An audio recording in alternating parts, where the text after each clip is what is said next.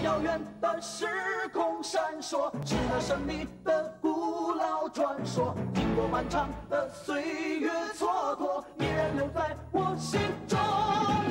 他们是一群真的英雄，他们的故事惊心动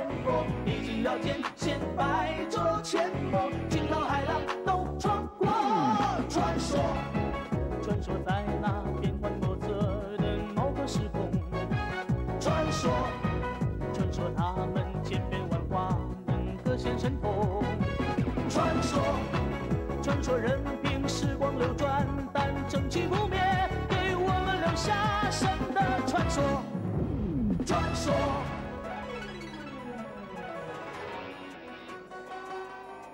传说，传说，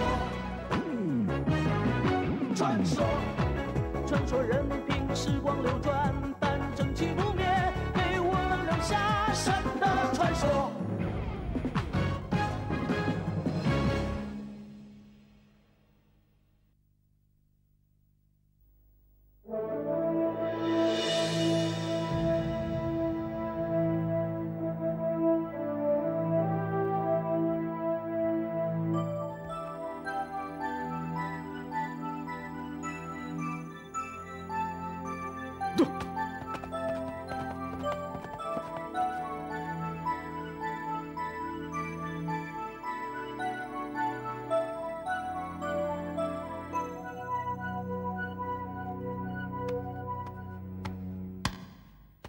哦，是子牙，你来有什么事吗？商军统帅张桂芳在几个道士的帮助下，兵犯西岐，弟子无能，不能率兵退敌，反被围困在树林中。望师傅指点退兵之道。你的军队还能坚持几天呢？呃，回禀师傅，我的军队最多只能再坚持一个月了。既然还有一个月，那你就到我的藏书阁里去看二十天书吧。这子牙，心里有什么话，只管说出来。不瞒师傅说，师傅书斋里的书，弟子全都看过了。以前看和现在看恐怕不一样喽。呃，师傅，弟子遵命。嗯。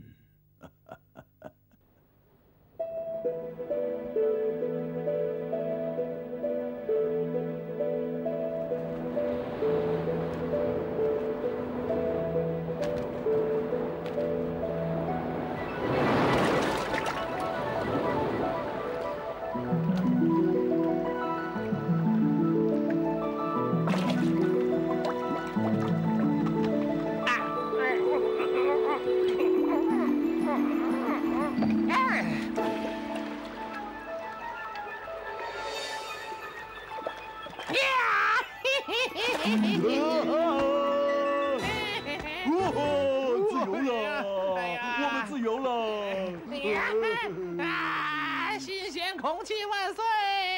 呜呼，蓝蓝的天，清清的水，青海湖的风光多么美！青海湖的风光是多……嗯，接着来。嗯，天天呼吸新鲜空气，自由自在，多么欢喜！哎，多么欢喜！啊，你们闹够了没有啊？怎么刚才是你在说话？没错，是我在说话。啊，鸟还会说话？少见多怪！你们光顾高兴，就没想想自己是怎么出来的吗？嗯，是啊，我们光顾着高兴，没去想谁把我们从葫芦里放出来的。是我把你们放出来的。你为什么放你们出去？是要让你们去吃一个叫姜子牙的老头儿。啊，吃老头？我的牙不好，啃不动。那老头儿是个半神仙，吃了它能补肾壮阳，多活一千年。哦，太好了！我生来就阳气不足。可是你牙不好，怎么啃得动它呢？牙不好可以炖烂了再吃吗？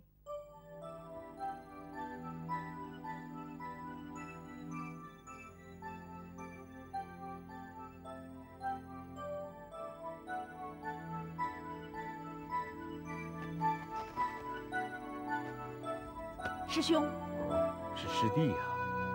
一个月到了，你该回去了。师傅说的对呀，以前看书没目的，现在看书可不一样了。哎，可惜时间不允许，不然真想一直看下去。师傅说，你还想看什么书，就带回去看。啊，这太好了，请替我谢谢师傅。嗯，蓝幽魂，我累了，想歇一会儿。你发现老头，别忘了叫我一声啊！不行，我也累了。呃，等我醒了再替你。不，得让我先睡。让我先睡。你得听我指挥。你，你得听我的绿游魂。嗯，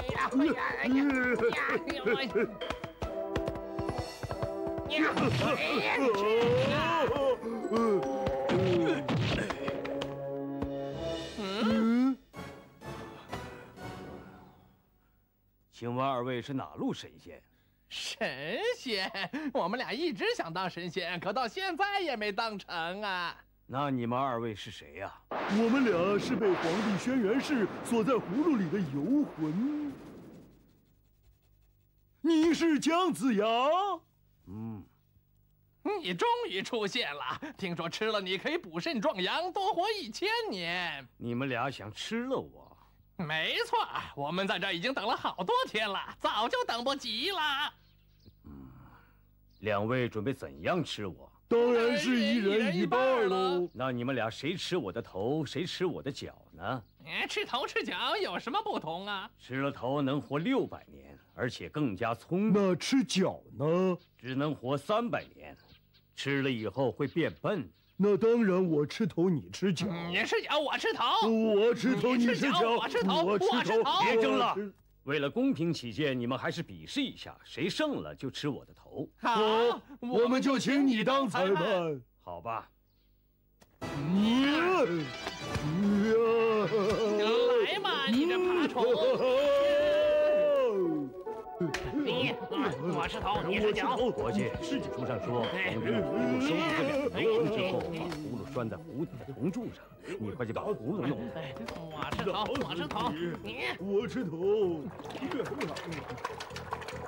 哎你，哎呦，哎呀，我要吃头，我吃头，我吃头。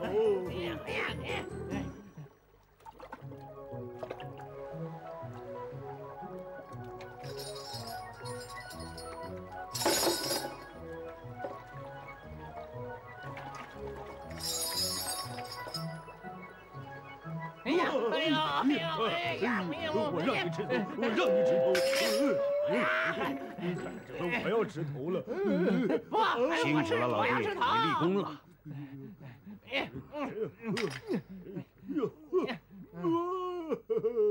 这上面写着制服这两个游魂的办法。吃头，我吃头。分出胜负了吗？没有呢。不要再打了。你们看这是什么？啊啊！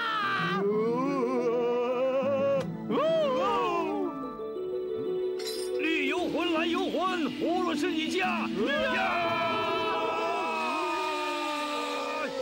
哎！都怪你，都怪你！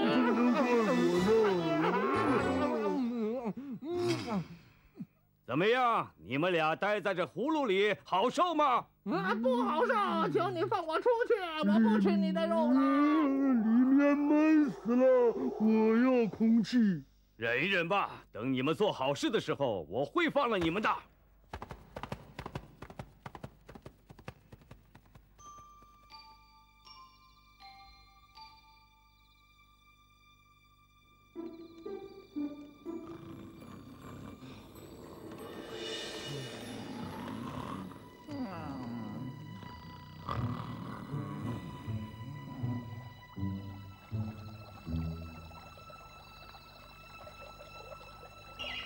把穗子打开吧。好啊！绿游魂，蓝游魂，葫芦是你家。哎，再跑就永远把你们关在里面。我们再也不跑了，让我们出来吧。你让我们做点好事吧。多谢老先生。绿游魂，你把这书简送给黄飞虎将军。嗯，是。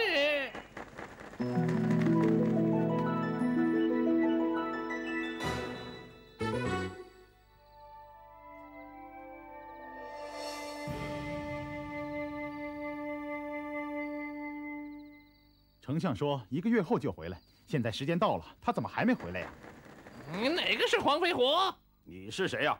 嗯，我是信差，姜子牙让我带件东西给他。